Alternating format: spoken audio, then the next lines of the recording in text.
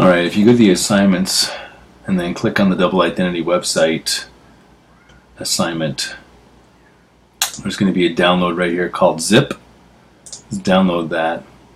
All the files will be in there for you guys to follow along.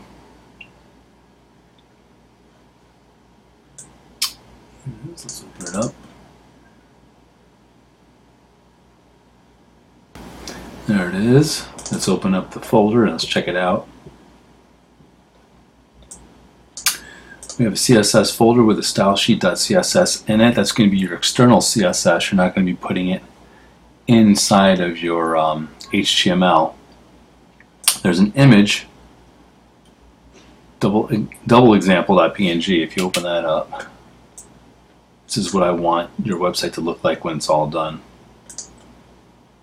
Double identity.doc is um, all the rules, just like on the website. See the rules that are right here? Pretty much the rules are in this Word document too. Gonna open it up.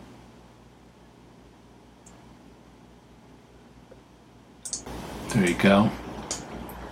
Okay, it says the same thing that the website says if you don't have the website or internet at that time to access. The images folder has a logo.png that you're going to use. Your index.html, just like the CSS, has nothing in it. I just made the pages for you so you can get going quicker. Site images, that's where I put all the images that are uh, PSDs. They have double, multiple layers on them. Here's this one. Bring the layers over here so you can see. There's a bunch of layers on here. Okay, before you make a website, you should make the design in Photoshop. Then you'll know what you're doing when you make your website.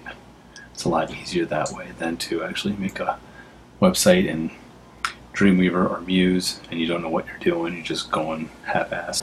Okay, and we're going to slice it up next. We don't need to slice it right now. Just going to go through all the files here. Your start here.pdf is very important. These are all of your instructions. This is a pretty, pretty, uh, three or four page worth of uh, instructions. We have part one, where you're going to work with the Photoshop file. Then you're going to make an HTML. And then you're going to make the external style sheet. And you're going to link it to the HTML page so it works. Then there's part two. There's part uh, three and four. Now, the red um, words in here are the added stuff that I put in. The black is what you've already written. Um, some of the um, coding in here is not right, and I did that purposefully because I wanted you guys to troubleshoot to make sure you could figure it out yourself. Um, I'm probably going to do it in the video anyway, so you can see what's wrong and what isn't. So make sure you watch the videos, okay?